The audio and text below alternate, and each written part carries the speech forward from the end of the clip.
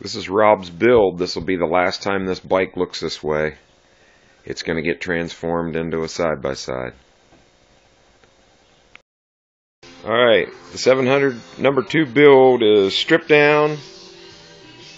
I've got my uh, got the templates made for widening the front end out 4 inches wider.